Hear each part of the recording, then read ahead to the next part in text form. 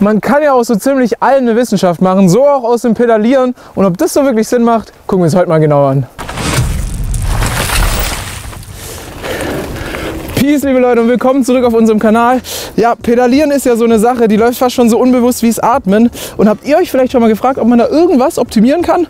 Ob ihr es habt oder nicht, wir gehen das Thema heute mal gemeinsam durch. Im Grunde genommen ist es alles auf die eine Frage zurückzuführen, und zwar, gibt es die perfekte Pedalierbewegung? Ja, schön wäre es, wenn es da jetzt eine Meinung gäbe, bei der alle irgendwie ja, d'accord sind. Aber wie so oft in der Fahrradbranche ist es eben nicht der Fall, sondern es gibt alle möglichen Theorien. Und eine der beliebtesten ist der runde Tritt, wird von vielen als der Goldstandard angesehen.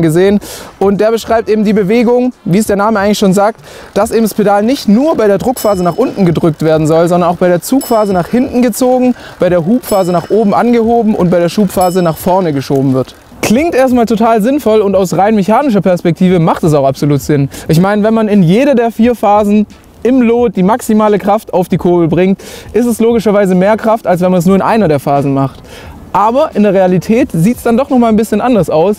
Laut meinen Quellen lassen sich da nämlich nur maximal 3% Leistungssteigerung rausholen. Gut, an der Zahl würde ich mich jetzt nicht unbedingt festnageln, aber es macht schon Sinn, dass der Leistungszuwachs da verschwindend gering ist. Die Sache ist nämlich die, die meiste Kraft kommt tatsächlich aus dem Oberschenkel und aus dem Gesäß bei der Druckbewegung nach unten.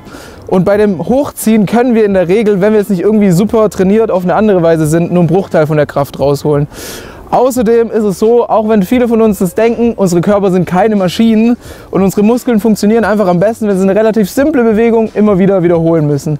Jetzt wird aber die Sache ja viel komplexer, wenn man zum Drücken auch noch ziehen, anheben und schieben muss. Und dann kann es sogar sein, dass beim Versuch vom runden Tritt mehr Energie aufgewendet werden muss als davor. Und dann kommt noch erschwerend dazu, dass unseren Muskeln kleine Pausen zwischen den Kontraktionen gut tun und die fallen dann in dem Fall halt weg und wir werden schneller müde. Hm, soll das jetzt heißen, eine Runde Tritt ist kompletter Quatsch? Schon ein bisschen, aber ganz so drastisch müssen wir nicht sein. Wir können uns nämlich schon ein Stückchen davon mitnehmen. Und zwar vor allem bei Anstiegen ist es durchaus wichtig, dass wir konstant mit gleicher Kraft pedalieren, weil wir sonst einfach Gefahr laufen, durchzudrehen. Aber dafür müssen wir ja nicht gleich alle Tretphasen neu überdenken. Wenn wir uns das nämlich mal genauer anschauen, ist es ja eigentlich so, dass das linke Bein das rechte Bein ablöst, sobald das linke Pedal weit genug vorne ist, um wieder Druck drauf zu geben. Und auch umgekehrt wieder. Das heißt, die nach oben Ziehphase, also die Zugphase oder Hubphase, können wir eigentlich schon mal vernachlässigen und uns nur noch die anderen angucken. Was dann jetzt nämlich nur noch übrig bleibt, sind die Phasen zwischen Druck- und Hubphase und zwar Schub- und Zugphase. Das sind meistens die Phasen, in denen irgendwie so tote Stellen entstehen, in denen man eben ganz wenig Kraft auf die Pedale gibt, was sich dann durch eine Art Stop-and-Go-Fahrstil äußert, wodurch dann so Sachen wie Durchdrehen und so weiter passieren. Sprich, das wollen wir überwinden. Also müssen wir uns entweder um die Zugphase oder die Schubphase kümmern. Die leichtere von beiden ist in dem Fall die Zugphase. Wir brauchen ja nur eine, weil sich unsere Beine ja wieder abwechseln. Also machen wir die Zugphase. Die können wir nämlich ganz leicht anwenden, indem wir unsere übliche Druckbewegung, also nach unten, äh, erweitern und indem, wir weitergehen als jetzt 5 bis 6 Uhr und von da aus noch aus der Hüfte schön einen Impuls nach hinten geben. Viele vergleichen das mit der Bewegung, wie wenn man sich einen Schuh abstreift, nachdem man irgendwie in Hunde getreten ist. Also schön mit schön viel Druck nach unten, Fuß nach hinten ziehen. Aneignen kann man sich die Sache im Prinzip ganz einfach beim ganz normalen Fahren. Sprich, ihr nehmt vielleicht mal einen schwereren Gang, dadurch niedrigere Kadenz und fahrt damit mal einen leichten Anstieg hoch. Dann werdet ihr nämlich schon früher oder später merken, ob ihr bei 6 Uhr bzw. 12 Uhr Stellung von der Kurbel so ein bisschen in Stocken kommt und genau das versucht ihr dann eben durch die Ziehbewegung zu überwinden. Das Schöne daran ist, dadurch, dass wir jetzt ja gar nicht nach oben ziehen, brauchen wir im Prinzip auch keine Klickpedale. Also es funktioniert auch mit Flats wunderbar.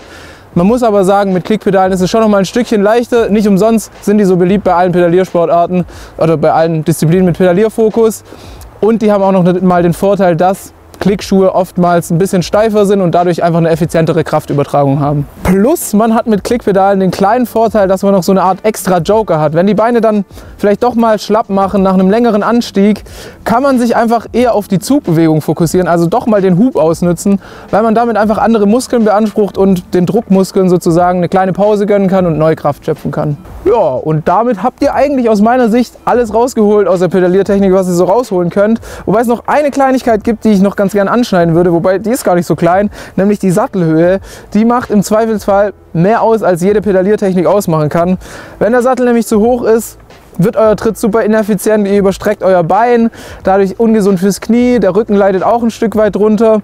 Genauso blöd ist es, wenn der Sattel zu niedrig ist, weil ihr dann einfach durch die niedrige Pedalstellung nicht genügend Muskelkraft aufbauen könnt, nicht voll, voll und ganz eure Muskelkraft entfalten könnt. Auch da habt ihr wieder hohe Belastung auf die Knie. Deswegen richtige Sattelhöhe ist wichtig. Die könnt ihr im Endeffekt ganz genau ausnutzen. Alternativ könnt ihr es aber auch so machen, dass ihr euch einfach aufs Rad setzt, Pedale bzw. Kurbeln auf 6 Uhr Stellung nehmt, eure Fersen auf die Pedale stellt und wenn dann eure Beine fast durchgestreckt sind, sollte die Sattelhöhe eigentlich passen. Dann könnt ihr noch irgendwie kleine minimale Änderungen machen, aber so solltet ihr gut unterwegs sein. Und dann sollte es mit dem Video jetzt auch wirklich gewesen sein. Falls ihr noch was hinzuzufügen habt, schreibt es mir gerne in die Kommentare. Und ansonsten freue ich mich wie immer, freuen wir uns wie immer über ein Like, ein Abo und wir sehen uns beim nächsten Mal. Peace out.